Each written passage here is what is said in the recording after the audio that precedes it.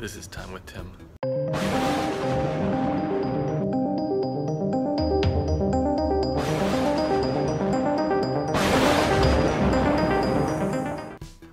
Welcome subscribers to the Writer's Mindscape. I'm Tim Greene. I write in the pen name TRG, and today we're going to take a detour.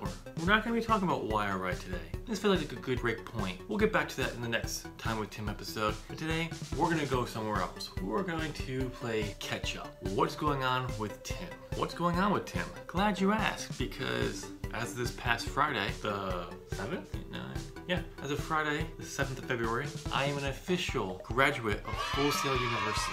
That's right, I have my master's in film production. Yay, because now I actually have to do something. I am excited. It's been over a year. For those who don't know, Full Sail is an accelerated program for all their courses for bachelor's and master's. My MFA was a one-year program. Most MFAs are two to three-year programs in film. Mine took me 14 months because I had to take two months off at different times during the year. One, because I chose, and I had to take time off in September due to health injuries. I was stressed out unbelievably, not sleeping for more than three hours. I had a blast. I am glad I'm done. I love school. I really do. But at the same time, it's been nuts. I got some stuff I gotta get done, and I'll come back with a next little talk. I got to do.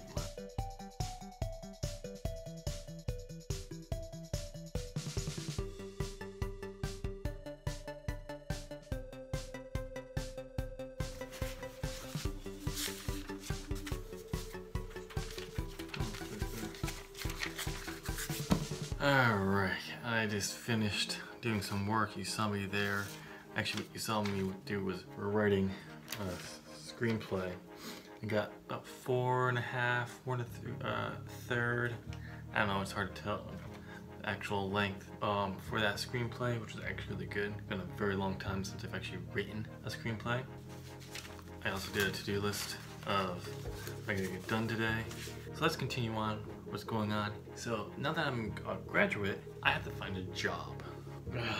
Not just a job, I need to find a good job. But I also need to find some kind of work overall because funds are non-existent in a sense. So I need to start finding work where I can be paying my bills, finding an actual full-time in my field. Hopefully the goal would be to find something full-time right off the bat, but that take a little while. I'm looking here in Orlando mostly because it's just easier so I don't have to move. I'm not locked to this area. I do not like Florida. I hate humidity. I hate humidity. I have my resume done, one of the best looking resumes I've ever done.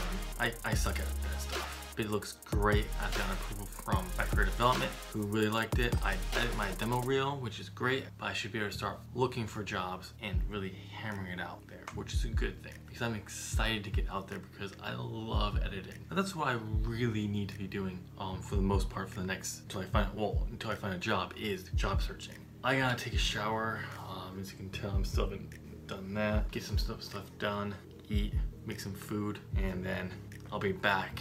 All right.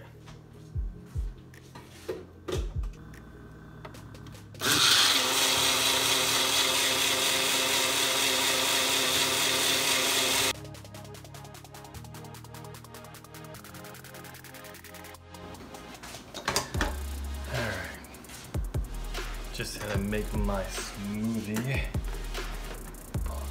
Where did we leave off? That's right. So, hold on, Something.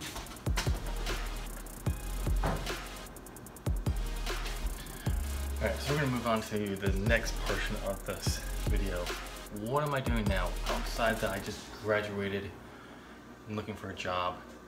I'm trying to accomplish a few things. Ah, that feels, that tastes so good.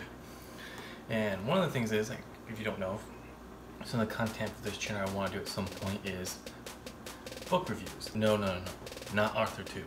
I'm not doing AuthorTube. I'm talking about writing books. I've read so many books in my life on writing, I figured why not? Read one, give a review, see if you, I recommend it. That's one of the things I'm doing. This is actually the one I've actually read before.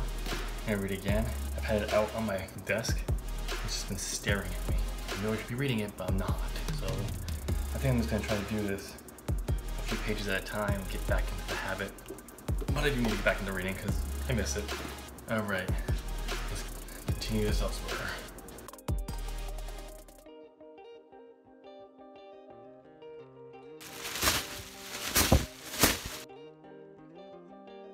Alright, so my plans changed. I was gonna go work out, spend a lot of time um, job hunting, setting up profiles, and it took a little bit longer than I thought I was going to do, so I honestly just don't feel like going out. I really didn't move this weekend.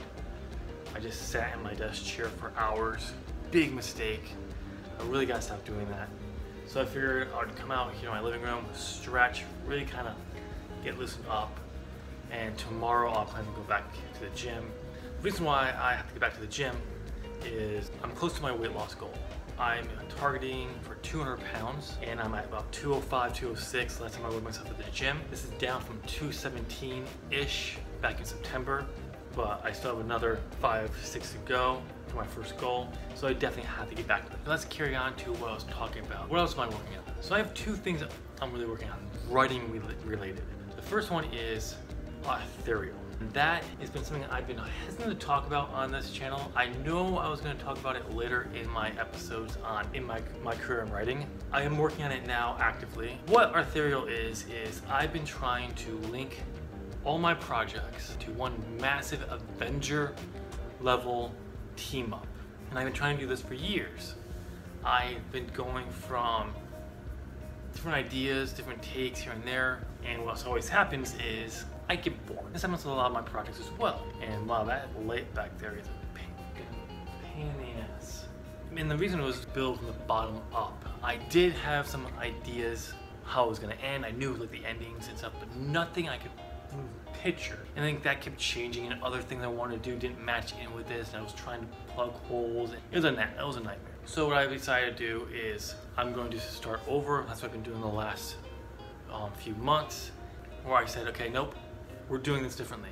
I say, always say I need to know where I'm going before I can start. I always have my beginning, but I also I need to know my end, and I really need to see my end. So I sat down and I figured out my goddamn ending. Had the climax. I knew exactly what it was going to look like, and I could picture it in my head. So that's awesome. So that's one of the things I've been really working on, building the stories there. I'm still on the grand picture type elements. Well, not really. I'm more on the next level down. I'll go more into details on this stuff in later on. That's where I am on that, so I'm working on those. And the second thing I'm working on is a script. This script is the first real script I've written since June. Yeah, I think it was June.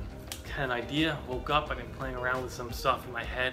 And you know what, let me write the stuff down. Let me sit down and try to figure out what I can do with it. It was gonna be a short film, so what I really wanna do with it, I can't do in a short film, a 30 minute short. So what I've been doing is I've been just kind of hammering out ideas. I'm not a big fan of the linear story when it comes to stuff. For the most part, I specifically films, I really like non-linear storytelling. And that's one thing they tell us at Full Sail don't do, stories are linear. And it's not because you shouldn't do that, it's because just telling a cohesive story from point A to point B well is hard enough as it is. To now break it apart to be non-linear is even harder. So I was planning this film to be, and I actually sat down with the professor last week, and he did, he gave me advice. He helped me. When I was talking to him, a 30 minute short, I can tell you that much, but I'm just gonna, uh, I'm going with it. Sent it to him, still waiting feedback from him, but I started writing that script the last few days. Actually today, I actually got four pages done, which is a lot. It's so weird, by the way, for screenplays, and you don't talk word count, you talk pages. How many pages did you get to today? Oh, one, what, seven? Wow. But it's weird, so I mean, word counts for novels and pages for scripts. It's, it's, but that's really the other thing I've been working on, and it's going good. Let's see what else I gotta do.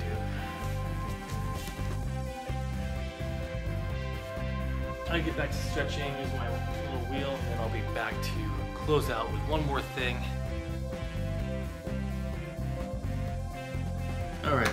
We're gonna wrap this video up, but before we do, I have a question that's been racking my brain for a little while now, and it's actually tied to my script that I'm writing. It's meant to be a way to link to what really want to do with the project, a TV series, because I think there's a really cool concept there, and I think you can mine a lot of stuff out of. The question I'm actually contemplating and ravaging my brain for is, should I and write a book series? The reason I'm questioning this is it's not fantasy or sci-fi. Mm, there'll probably some little sci-fi elements in there. It's not what I'm used to doing. I love the concept, but at the same time, it's so far away from my norm. Do I really want to write it? So that's something I'm kind of contemplating. I want to know what you thought. I want to know what you think. Comment down below.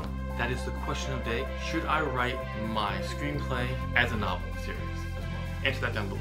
I just want to highlight my very first ever Apps for Writers review of Scrivener 3. That's right, it's live.